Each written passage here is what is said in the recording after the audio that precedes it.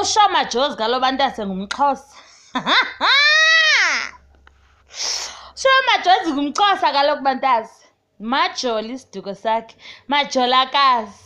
Qha namama untombi uneentloni but ke siya-understand abantu abashayi bethunani kwawujabulani kaloba kunyanzelekile avele kumajola kuba kaloku ujohn cena ngujabulani kwena ngumxhosa?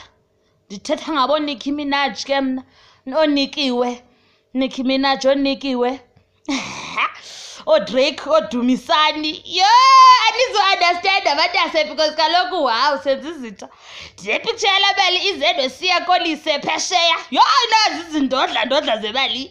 Into yoba ayombali mntakabawo yho imali abazenayo ngapha phesheya.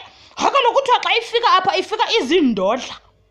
Xa ifika apha eSouth Africa ifika izindodla laa mali. Zintoni zii-pounds from kwelaa cala.